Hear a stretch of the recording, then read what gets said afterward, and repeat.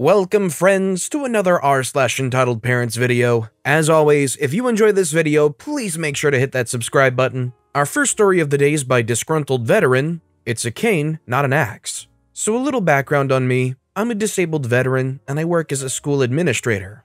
I was injured in Iraq and went into teaching after I got out of the service. Besides having breathing issues and PTSD, I have some pretty messed up knees. I've had two surgeries on each knee, but I still feel pain with each step. I need to use a cane sometimes to help me walk when the pain is too bad, or they lock up, or are extra weak that day. So I have an assortment of canes I've received and purchased over the years. I prefer the ones made by Cold Steel, and I've received the Axe Head cane a few years ago as a gift from a student and their parents. I love this thing. It's as tough as they come and looks cool, kind of like an axe, but only if you really look at it when it's not being held. So last year, before co- before COVID became as famous as it is now, I was shopping at a local Walmart and decided to stop into McDonald's for a snack. I like their oatmeal raisin cookies. I sat at one of the tables with three cookies and a Diet Coke. A few tables away was a mother, entitled mother, and two teens. Both of the teens were boys, and I would say that one was 15, entitled Boy 1, while the other was about 13, entitled Boy 2, give or take. While sitting there, I took out the novel I always keep in my backpack. At that time, I was rereading the Going Home Survivalist series and enjoyed my snack. Within a few minutes of me reading, Entitled Boy 2 grabbed my cane that was resting against my table and said something along the lines of, Look at this cool stick, it looks like an axe. His brother, Entitled Boy 1, grabbed it from him and looked it over. Now, I have PTSD from my time in Iraq and a short temper, and I will admit that my first reaction was to grab my EDC weapon. At that time, it was just an S&W 638. I immediately removed my hand from the holster though, and just got up, took two steps over to them, and yanked it from his hands and said, That's mine. I then sat back down and went back to eating, all the while keeping an eye on the kids. No more than 30 seconds pass, an entitled mother comes over asking why I took the stick out of her kid's hands. She states that they were only looking at it. I just looked at her and said, It's my cane and I can do whatever I darn well please with it. She then goes over to the McDonald's counter and complains to the cashier that I'm being rude to her and her kids and I'm swearing at them. I decided to just walk away and get what I needed and check out. I went to where I had left my basket and went to the camping aisle to get the last of my items and then was planning to go to the checkout. That's when Walmart's loss prevention specialist came to visit me. They told me that they had a complaint that I was walking around with an axe and threatening people. I told them that I don't have an axe, just my cane. No more had I said those words that two police officers came up to me. I can remember thinking, only at Walmart. When the officers arrived, they asked me what I was doing. I told them that I was just shopping and that I had just told these two staff members that I don't have an axe. I did inform the officers that I had a concealed firearm but had a CCW permit. I told them I was keeping my hands in plain view and would only show them my permit if they asked me to. That's when I noticed Entitled Mother and her two spawn behind them. Entitled Mother was telling them that I had threatened her family with that axe in my hands and had cussed at them to boot. I slowly lifted my cane up and handed it to them to see. They saw that it was just a cane. They asked for my CCW permit, and I showed it to them. Once they checked it out and saw that my cane was a cane, they asked me what happened. When I tried to tell them about Entitled Boy 1 and Entitled Boy 2 taking my cane and me yanking it back, Entitled Mother started calling me a liar. They had to make her step back and be quiet so they could talk to me. I told them that they could check the cameras if they wanted, but all I did was grab my property back and told Entitled Mother that it was my darn cane. After several minutes, I had to sit because my knees were killing me. I asked if I could briefly use one of the folding chairs behind me, and surprisingly, the staff member said yes. Finally, the officers said that everything with me was fine and I could continue shopping. One even said that he liked my cane. I told him it was a gift from a student and explained why I needed it. Turns out he served in Iraq too, but a few years after I did. They told me they would deal with entitled mother and her kids and if they bothered me again, to just call the police. I thanked them and made my way to the checkout. I decided I wouldn't go through all that and not buy the items in my cart. After checking out, I saw entitled mother hanging out in the parking lot complaining on the phone. She started yelling at me as I loaded the items into the bed of my pickup truck. Rather than just ignoring her and driving away, I opened my mouth and said loudly so everyone nearby could hear, You know, I have no idea how anyone as loud-mouthed, fat, ugly, and dumb as you could ever find a man, let alone get him hard enough to knock you up. I then hopped quickly into my truck and drove away before I could hear any comeback she would have. I admit, I could have handled it better, but I just don't like people touching my stuff, and I don't like people lying about me. I still use that cane, by the way, it's just too darn good not to use. In your opinion, do you think that OP overreacted in this situation, or do you think OP had every right to do everything that they did? Let me know in the comments down below. This next story is by Gene Bread. Entitled parents try to steal my luggage, clearly with my name on it. This happened roughly two years ago, so a bit of background, I was living here in the US for quite a good chunk of my childhood. I'm half Filipino and half American, so I was very confused to find out that interesting revaluation. Anyways, after finding out about my heritage, my mom quickly changes the topic that we're going to the Philippines for a quick vacation and a family reunion. I wasn't wanting to go in the first place, but I knew how important that was for my dad, so I made it happen. When first arriving at the airport, I was met with a ridiculous crowd. People pushing each other, desperate to save a few seconds, kids crying, parents nagging, the whole lot. Anyways, we get to the security checkout and I had to surrender my luggage. And we had to go through another inspection after that. My bag goes through the x-ray thingy and comes out the other side. After my security scan, I saw two adults, probably in their late 40s, with my bag. I told my mom about it and she said I should just go get it since she trusts me. A little bit of hesitation later, and I finally asked them to give me back my luggage. They immediately shut me down, stating that I should go back to my parents. I made it clear that it was my luggage. They shrugged it off, and me being a confused 11 year old, I just screamed. My mom hears it and she notices the two adults walking away with my luggage. I saw the name, the color, and even the small marking I set there as a reminder. By the way, they were short on staff so no one could avert the crisis.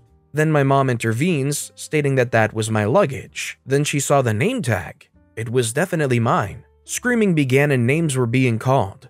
As the attempt to run away and escape, they were met by two security guards who stopped them. Long story short, they checked the security footage and confirmed that it was indeed mine. As they walked away in pathetic defeat, they were cussing and threatening us, calling us many names.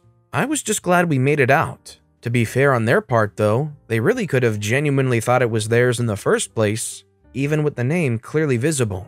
I definitely wouldn't assume that this was any kind of mistake. If it was a genuine mistake, I don't think that they would be cussing you out and making a fuss at the very end of it. I think this was definitely a case of opportunity thieves trying to steal something from a kid. Maybe you hope that you can make a quick buck off of maybe like a 3DS or something like that being in the suitcase. Considering it's just a kid's, if you grab it and you walk off quick, maybe the kid doesn't notice. That's definitely what I think. Our next story is by Two Bendy Cat entitled Dad Attempts a Kidnapping. I have a medical issue that caused a slight physical developmental delay, so when I was a kid, I looked roughly 4 years younger than I was. So when the story took place, I was 14, but I looked 10. 4 foot 2, 90 pounds, baby-faced. We had a standard poodle, big floofy dog, during this era, and it was the responsibility of my brother and I to walk her after school, so I would walk her 3 to 4 times per week. Now for the story. So after school one day, I took my dog to the park to throw the ball around a few times. She was a very smart dog, so she'd only fetch something once or twice, then demand in her silent way that we humans had to fetch the ball for her. Thus, I wasn't planning on staying long. Suddenly, I see a red Jeep parking, and a middle aged man steps out and approaches me. The entitled dad says, Hey, you've got a beautiful dog. Can I pet her? Me being a little weirded out that he put so much effort into petting a dog, say, yeah, sure.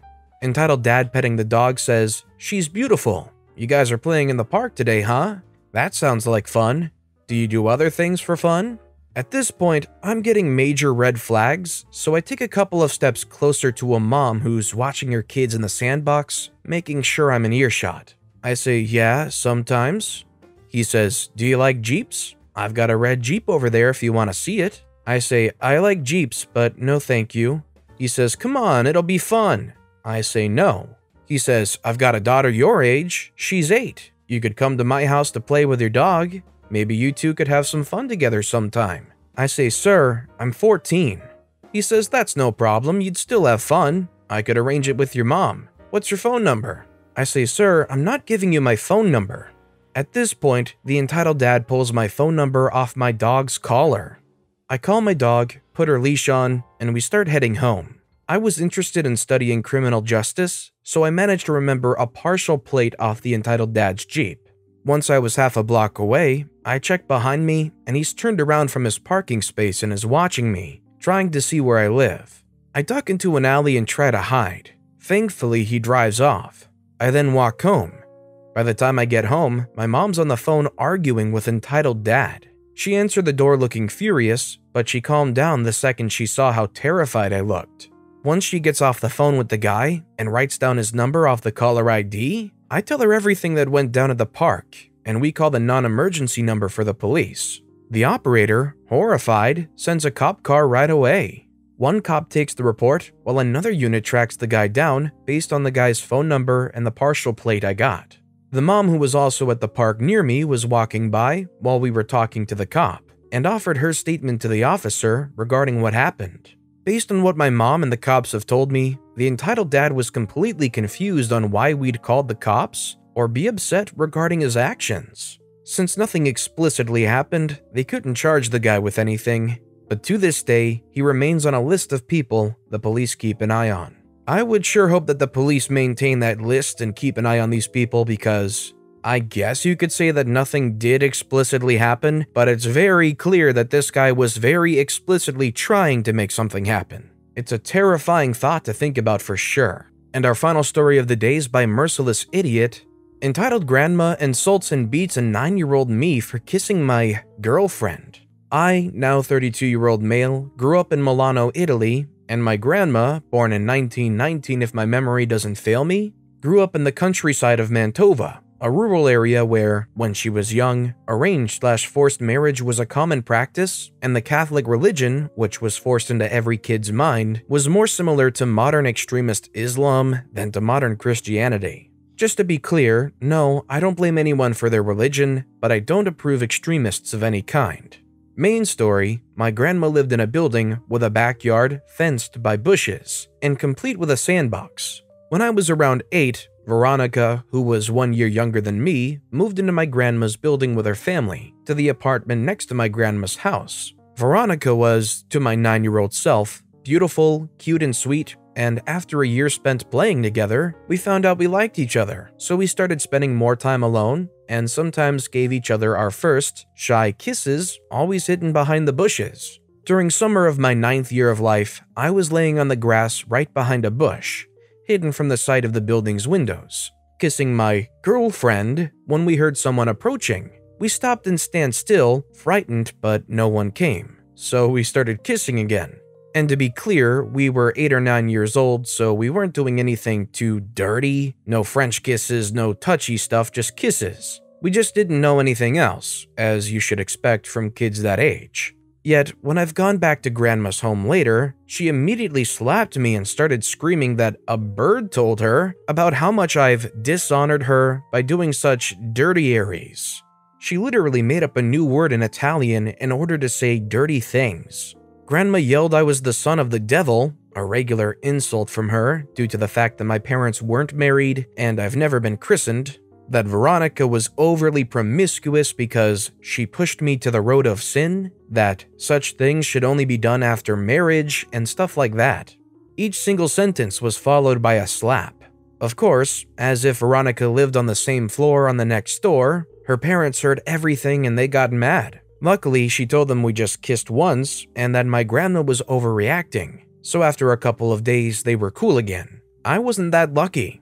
Since that moment, grandma started following me pretty much everywhere, hoping to catch me doing dirty Aries again, just to get an excuse to punish me. She also never missed a chance to tell everyone, including other kids and their parents, about how dirty I was because Veronica corrupted me with sin bad mouthing both of us at any chance. She did it mostly in front of me. It was heck for the nine year old me, and of course, basically destroyed the friendship I had with the girl I was secretly hoping to marry someday. Kids drama, am I right? By the way, this wasn't even the worst stuff my grandma did to me, but I'll post something more in the future. I mean, kids will be kids. I'm definitely not a parent. I wouldn't exactly know what's the right thing to do in this situation if you found out about this stuff happening, but surely slapping them over and over isn't the right way. I just don't see how anybody could treat their kids like that and then expect their kids to show joy or even want to be around them. You just want to set a good example, you wouldn't want to instill fear in them, but that's just how I feel about it. But with that being said, that's a wrap on another bunch of stories here today. As always, if you guys have any favorite videos of this bunch, let me know which one in the comments down below and why. And if you enjoyed the stories in general, if you could subscribe to this channel, it'd mean a lot to me. I make these videos daily, and it's by far and away the best way to support my channel. So no matter what you did, whether it was subscribing or liking, leaving a comment, I just appreciate the heck out of you guys. And as always, I'll be back tomorrow with even more stories right here on the Storytime channel.